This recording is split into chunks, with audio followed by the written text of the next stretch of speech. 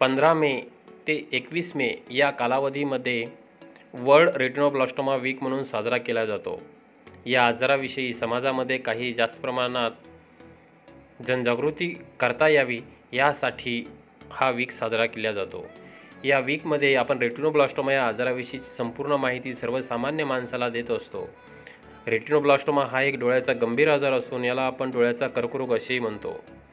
या आजाराविषयी संपूर्ण समाजामध्ये आणि सर्व नागरिकांमध्ये याची माहिती व्हावी म्हणून डोळ्याचा जागतिक डोळ्याचा कर्करोग म्हणून हा आपण साजरा करत असतो. तर मित्रांनो आपण आजच्या या व्हिडिओमध्ये याविषयी कर्करोग डोळ्याच्या कर्करोगाविषयीची संपूर्ण माहिती बघणार आहोत. रेटिनोब्लास्टोमा डोळ्याच्या कर्करोग रोगालाच आपण रेटिनोब्लास्टोमा असे म्हणत असतो. प्रत्येक अठरा हजार मुलामागे एका मुलाला होणाऱ्या डोळ्याचा कॅन्सर असतो हा. याचे प्रमाण जरी कमी असले मित्रांनो परंतु हा पूर्ण घातक आजार आहे गंभीर आजार आहे ज्यामुळे डोळ्याची संपूर्णत जर या आजाराकडे लक्ष दिले नाही व्यवस्थित निदान लवकर झाले नाही तर या डो या आजारामुळे संपूर्ण डोळ्याची नजर जाऊ शकते डोळा काढण्याची गरज पडू शकते अंतत रुग्णाचे प्राणही जाण्याची शक्यता असते मित्रांनो तर यामुळे ह्या रोगांचे लवकरात लवकर निदान व्हायला हवे. तर या रोगाचा जो रेशो आहे मित्रांनो प्रत्येक अठरा हजार मुलामध्ये एका मुलाला होण्याची ही शक्यता असते. एक ते दोन वर्षाच्या मुलामध्ये होणारा हा कॅन्सर अनुवंशिक असू शकतो किंवा नसूही शकतो. यामध्ये मित्रांनो जर तुमच्या फॅमिलीमध्ये किंवा एखाद्याच्या फॅमिलीमध्ये हा आजार झालेला असेल तर त्याच्या फॅमिलीमध्ये त्या दुसऱ्या जन्मलेल्या बाळाला पन्नास टक्के चान्सेस आहेत की तो आजार त्याला होऊ शकतो.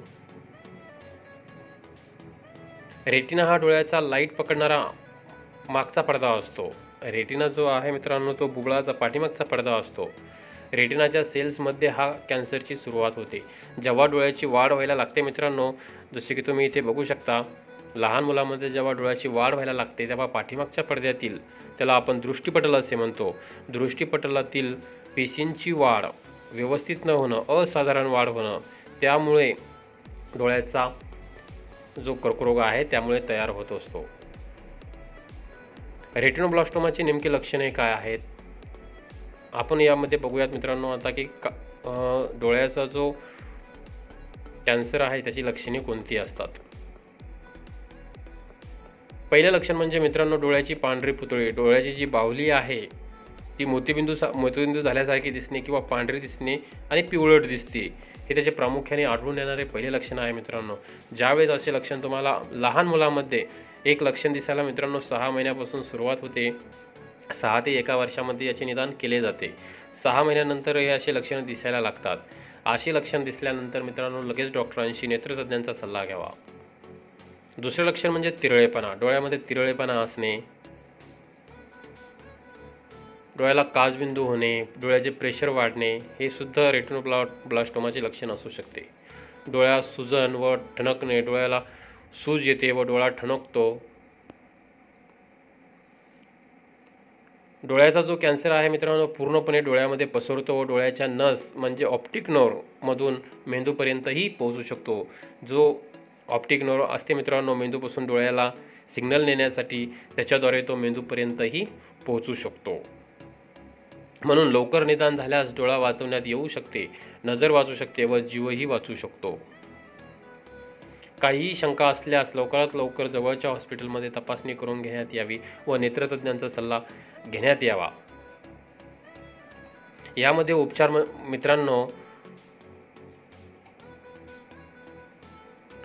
डोळ्याचा कर्करोग असलेल्या बाळांची तपासणी जर लवकरात लवकर झाली आणि त्याचे निदान जर लवकरात लवकर झाले तर त्या बाळाची दृष्टी परत मिळवता तसेच त्यामुळे होणाऱ्या गुंतागुंतीपासूनही आपल्याला बचाव करता येतो.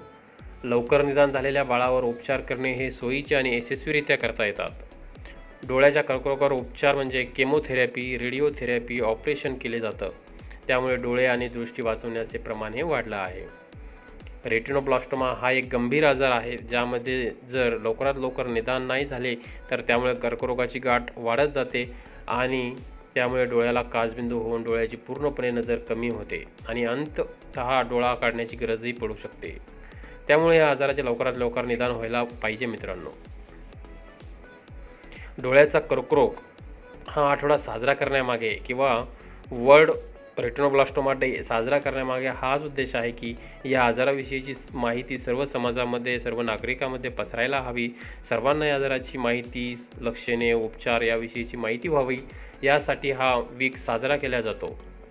जेणेकरून लहान मुलामध्ये याचे लवकरात लवकर निदान व्हावे व त्यांना लवकरात लवकर उपचार मिळावा आणि त्यांची नजर वाचण्यास मदत व्हावी. हाच यामागचा उद्देश आहे मित्रांनो.